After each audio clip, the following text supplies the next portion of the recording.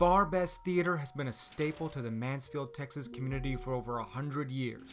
But there's more than just memories of old performances and movie matinees attached to this place. Once you step inside, you can just tell it's not like other buildings. You want those lights on as soon as possible.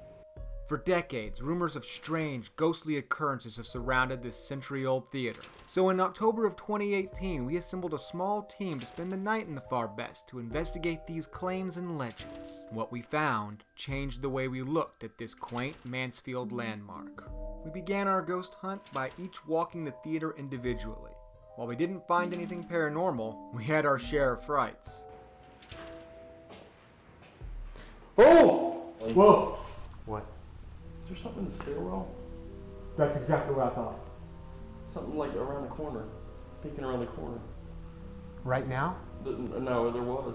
That's the energy that surrounds you at the Farr Best. Every shadow, every squeak startles you. You can't help but be on edge. After making the rounds, we settled in for the investigation, focusing on the item that supposedly started the hauntings. The stories go that this bar was donated from an old Irish pub, and it brought spirits with it. Using the EMF detector, a device that measures electromagnetism, which some say can signal the presence of ghosts, we began to ask questions. At first, nothing happened. But then our questions seemed to begin getting intelligent answers based upon the readings of the EMF. Do you know how to play any instruments? it, okay, so you do know how to play an instrument. So, let's see, what do you play then? The drums? So it's the drums. Then something happened that blew our minds. You've been getting a lot better. Give us a light up all the way to red.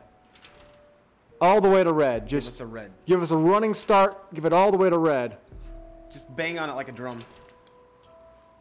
Can you play the drums for us?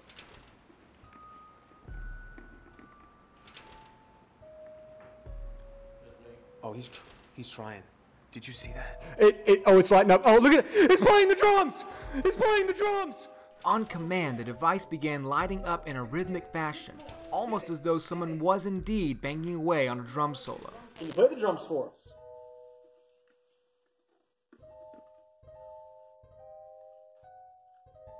Oh, he's tr- he's trying. Did you see that? It, it, oh, it's lighting up. Oh, look at it. It's playing the drums. What reinforced this EMF communication encounter more than anything else was that as soon as we had started receiving answers, they stopped. Are you still here? That's the audio recorder. I moved it down here so we could have a better conversation. But I don't think he's here anymore. I'm not feeling any vibes. No, I said I don't feel any vibes, and he. This is not. This is not so much as as tickled. Nothing else had changed in the environment around us to explain the EMF lighting up.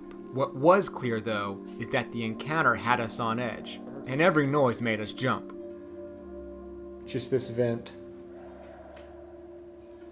What? Oh! Dang it. You know the little hanging chain things you pull? Hit my head on that thing. Uh, so I feel the little graze and hear ching, ching, ching, ching. Oh.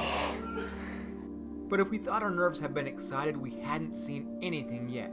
The night was about to get wild. It started with an EVP session. EVPs are electronic voice phenomena.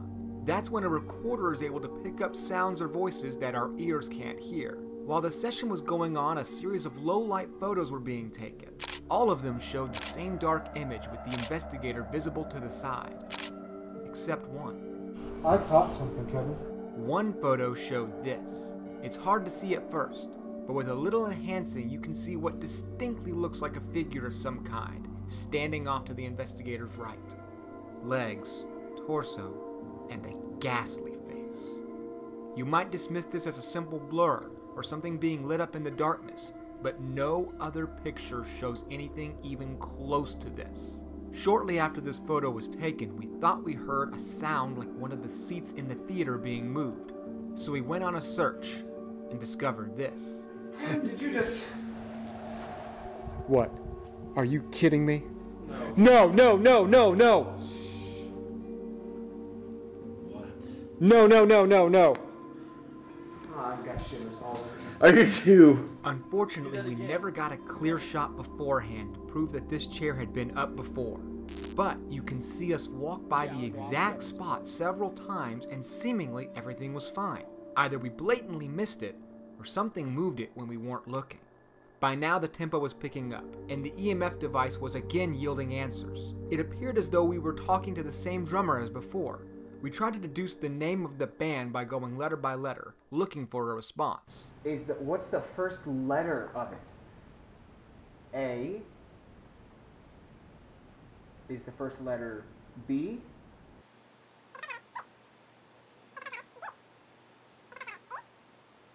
F G G Second letter. So we have a G at the beginning. Second letter. A. B. Gab- We already know that's not a word, so. The answer seemed nonsensical, and we automatically assumed that we were getting nowhere. Then we did a quick internet search for the term GB as it relates to music. Okay, um, here's something else. GB is a common designation for bands that can pretty much play anything. You have to be able to sight read and lead sheet and make it sound like something. Before GB, they were called society bands. So you guys can play anything? You guys are a GB band. It lit up when you started describing what a GB was. Around the same time we discovered this astonishing coincidence, the energy in the building shot up like a spike.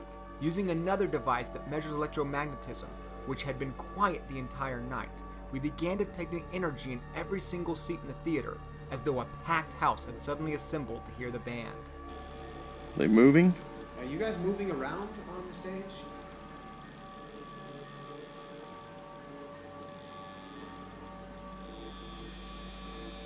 What the heck, Put dude? that thing on me. Why is it doing it? Hello? I, I'm following it from over here. Here. It's left here. It's It's gone. It's gone, and I followed it right over here in between us. It passed between us. Seat B9? Is that someone right there?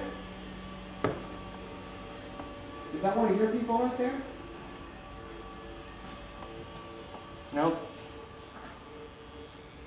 Now the whole dang place is lighting up. I don't understand this. It was all building to a crescendo before the grand finale. Going back to the EMF detector to ask some more questions, something came through that sent chills down our spines. Something that was more than just a few flashing lights. Is that somebody's stomach? Uh oh. That wasn't mine. Are you kidding me? Uh-uh. I just. Are you sure it's not somebody's stomach? That was growl you heard? Yes. That was not my stomach. Wasn't that was from over here. There's a growl. What? I just heard. No, no, I heard that too. Really?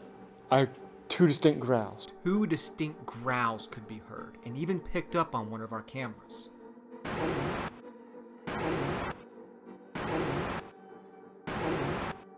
I just. I just. I just. I just. As if trying to confirm our own thoughts, the EMF detector gave us one last strong answer after minutes of sitting with nothing. Did you hear a growl? It did. With that last piece of evidence, we began to wrap up our investigation. So, what did we learn? Maybe the answers that came across the EMF detector were just coincidence. Maybe we flipped the chair down and forgot. Maybe the noises we heard were just an old building settling. And maybe the figure caught on camera is just a trick of the light. Maybe. Just spend a dark night inside the Farr Best Theater yourself sometime and see what you believe.